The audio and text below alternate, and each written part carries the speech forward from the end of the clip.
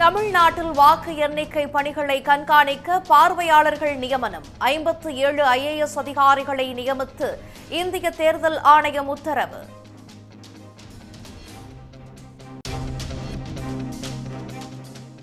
கேரளா மற்றும் வடகிழக்கு இந்தியாவில் முன்கூட்டியே தொடங்கியது தென்மேற்கு பருவமழை.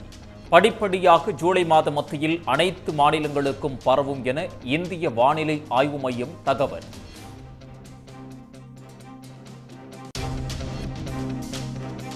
தங்கம் விலை சவரனுக்கு முன்னூற்று அறுபது ரூபாய் குறைந்தது. சென்னையில் ஆபரண தங்கம் ஒரு கிராம் ஆறாயிரத்து எழுநூற்று முப்பது ரூபாய்க்கும் ஒரு சவரன் ஐம்பத்து மூன்றாயிரத்து எண்ணூற்று நாற்பது ரூபாய்க்கும் விற்பனை. கேரளாவில் இரண்டாவது நாளாக கொட்டிய கனமழையால் சாலைகள் குடியிருப்புகளில் தண்ணீர் சூழ்ந்தது.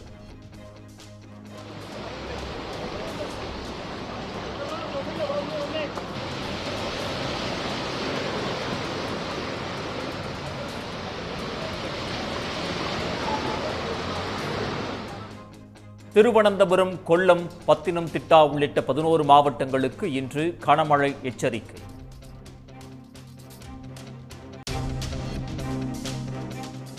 தேர்தல் பரப்புரை முடித்து மூன்று நாட்கள் தியானம் மேற்கொள்ள இன்று குமரி வருகிறார் பிரதமர் மோடி. பிரதமர் வருகையால் குமரி சுற்றுலா தலங்களில் உச்சகட்ட பாதுகாப்பு. பிரதமர் மோடியின் தியான நிகழ்ச்சிக்கு திமுக காங்கிரஸ் மார்க்சிஸ்ட் திரிணாமுல் உள்ளிட்ட கட்சிகள் கடும் எதிர்ப்பு.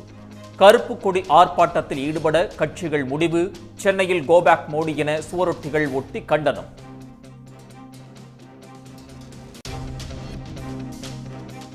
நாடு முழுவதும் இரண்டு மாதங்களுக்கும் மேலாக களை கட்டிய மக்களவைத் தேர்தலுக்கான பிரச்சாரம் இன்றுடன் ஓய்கிறது கடைசி கட்ட தேர்தலில் ஐம்பத்து ஏழு தொகுதிகளுக்கு வரும் ஒன்றாம் தேதி வாக்குப்பதிவு.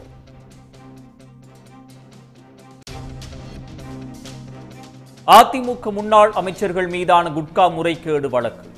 எம்பி எம்எல்ஏக்களுக்கு எதிரான வழக்கை விசாரிக்கும் சிறப்பு நீதிமன்றத்திற்கு மாற்ற பரிந்துரை.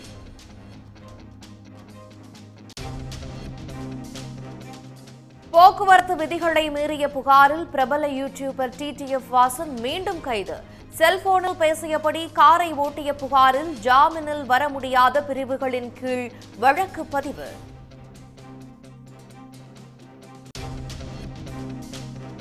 மகாத்மா காந்தியை அவமதிக்கும் வகையில் பேசிய பிரதமர் மோடிக்கு வலுக்கும் கண்டனம். ஆர்எஸ்எஸ் வாயிலாக உலகை அறிந்தோருக்கு கோட்சேவை மட்டுமே தெரியும் என்று ராகுல் காந்தி கண்டனம்.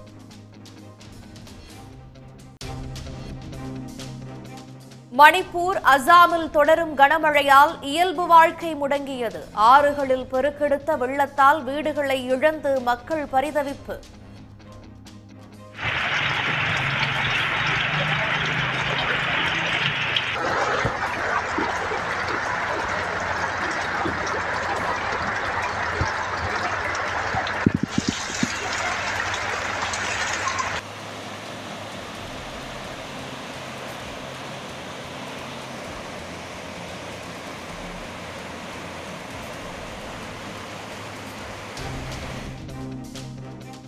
நார்வே செஸ் போட்டியில் கால்சனை வீழ்த்தினார் தமிழ்நாட்டு வீரர் பிரக்யானந்தா.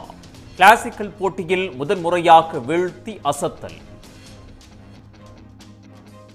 உடனுக்குடன் செய்திகளை தெரிந்து கொள்ள சன் நியூஸ் பெல் ஐகானை கிளிக் பண்ணுங்க.